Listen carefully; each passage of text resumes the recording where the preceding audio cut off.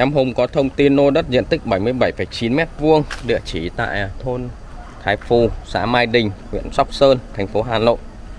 Lô đất này có mặt tiền là 6,8 m, là hậu. Mặt hậu là bộ 7,1. Chiều sâu Chiều sâu của lô đất này là 12 m, 11,45. Lô đất thì à, có hướng lam chính lam rất là đẹp. Lác đác ở đây cũng có một vài điểm kinh doanh. Cách chừng 40 à, mét thì ra tới à, đường trải nhựa. Đường này mới được trải nhựa.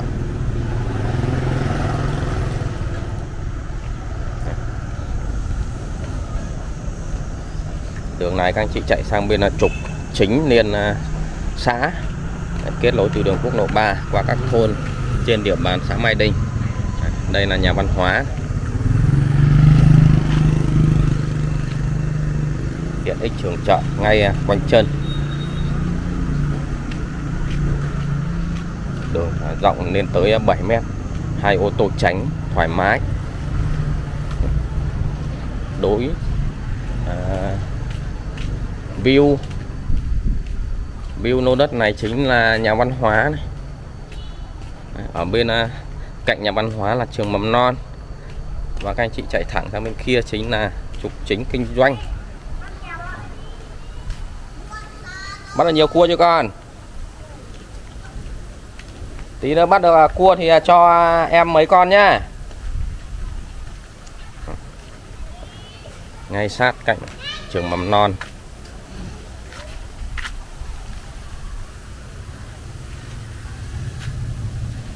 Xu hướng trong à, tương lai, thì à, ô tô sẽ là một à, phương tiện di chuyển không thể thiếu.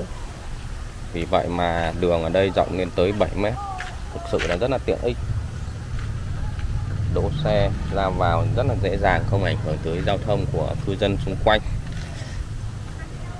Với những thông tin nêu trên, các anh chị quan tâm tới bất động sản này, cần thông tin chi tiết hơn thì kết nối Zalo 0978 444 393 để em Hùng mà cung cấp các thông tin chi tiết hơn tới các quý anh chị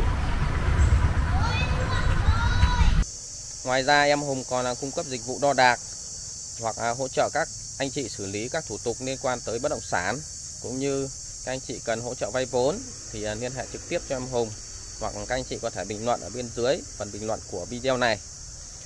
Video ngày hôm nay của em xin kết thúc tại đây. Em Hùng xin chào và hẹn gặp lại các quý anh chị ở những video lần sau.